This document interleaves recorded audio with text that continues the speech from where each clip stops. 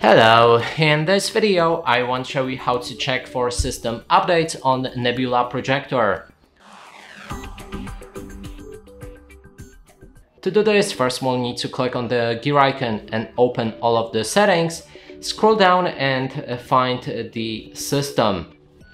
Here select uh, about and first option should be system update. When you click on it, it will check for any updates available.